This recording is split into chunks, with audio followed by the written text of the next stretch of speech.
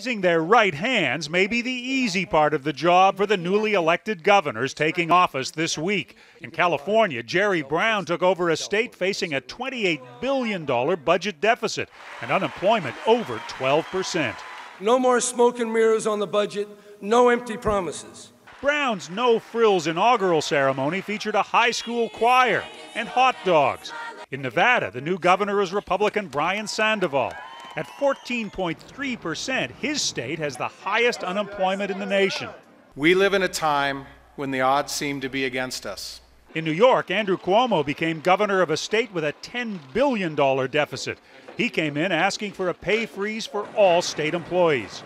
My gray hairs are multiplying just thinking about what we have to do. Here in California and across the country, what governors are likely to have to do is cut spending. It's one reason that in the 37 states that elected governors, 23 went to Republicans and only 14 to Democrats.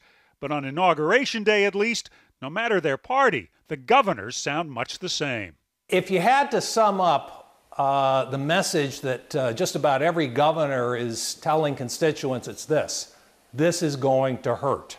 If there's any good news for the new governors, it's this. State tax revenues have climbed from $1.27 trillion in the first quarter of 2009 to 1.33 trillion in the last quarter of 2010, an increase of 61 billion dollars, and the governors proclaim enthusiasm for the challenge. I take my oath proudly optimistic. California, here I come, right back where I started from. Indeed, Jerry Brown was first elected California governor in 1975. His predecessor was a movie star, Ronald Reagan. This time, Brown follows another movie star, Arnold Schwarzenegger, who posted his own Twitter video as he left the tough job of governor behind. John Blackstone, CBS News, San Francisco.